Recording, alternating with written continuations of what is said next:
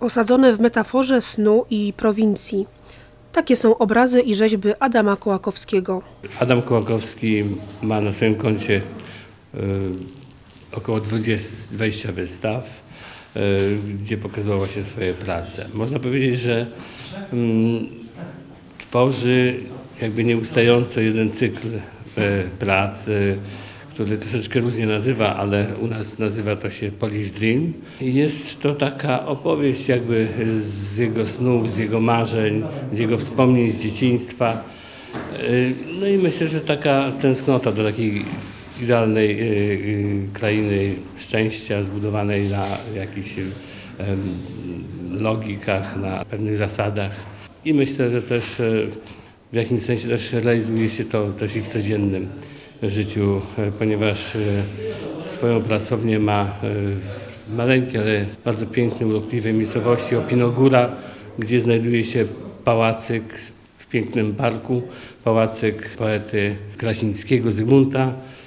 No i, i tak, tak w ten sposób żyje. Autor żyje z tych prac, maluje i z tego się utrzymuje i również z rzeźb. Także jest to taka, taka właśnie reali- realizowanie się poprzez malarstwo, poprzez sztukę, ale również i budowanie jakiejś takiej kraj, własnej krainy szczęśliwości. Młody artysta mieszka w Opinogórze na Mazowszu, ale w pracach plastycznych ciąży w kierunku Podlasia z całym jego bizantyjskim, nieprzeniknionym żywiołem. Na obrazach odnajdujemy fascynację wschodnią ikoną oraz wątkami rustykalnymi. Kopalnią pomysłów, inspiracji jest y, Podlasie. Generalnie y, czerpię dużo z ikon, z ich historii. i Interesuje mnie raczej wschodnia ściana Polski.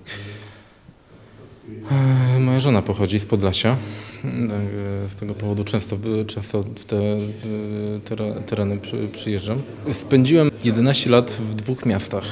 Warszawie, liceum plastyczne, potem 5 lat w, e, czy 6 w Poznaniu e, na Akademii Sztuk Pięknych. I to doświadczenie e, pokazało mi, że kompletnie nie nadaje się do życia, do życia w mieście.